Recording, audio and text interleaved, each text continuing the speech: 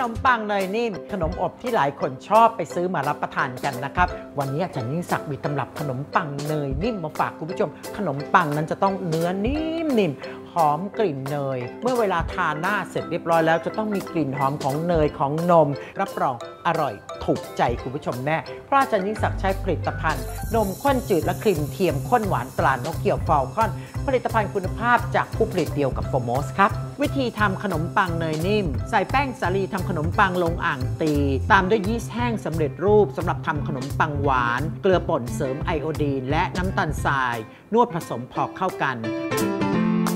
ติมไข่ไก่ นมข้นจืดตรานกเหี่ยวฟอลคอน น้ำ และเนยสดชนิดเค็ม นวดจนก้อนโดเนียน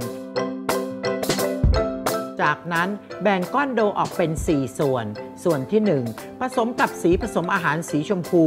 นวดจนเข้ากัน ส่วนที่ 2 ผสมกับสีผสมอาหารสีเขียวแอปเปิลนวดจนเข้ากัน ส่วนที่ 3 ผสมกับสีผสมอาหารสีเหลืองนวดจนเข้ากัน ส่วนที่ 4 ผสมกับสีผสมอาหารสีฟ้านวดจนเข้ากัน ตัดก้อนโดแต่ละสีน้ำหนัก 40 กรัม รีดก้อนโดเป็นแผ่น วางเนยสดชนิดเค็มลงตรงกลาง หุ้มแป้งโดให้มิด บีบตะเข็บให้สนิท วางลงในถาดอบ พักแป้งจนขึ้นเป็น 2 เท่า อบขนมปังที่อุณหภูมิ 350 องศาฟาเรนไฮต์หรือ 175 องศาเซลเซียส ประมาณ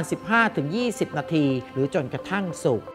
วิธีทำครีมเนย ใส่เนยสดชนิดเค็มลงในภาชนะ ตามด้วยครีมเทียมข้นหวานตรานกเหี่ยวฟอลคอน ตีส่วนผสมจนเข้ากันดี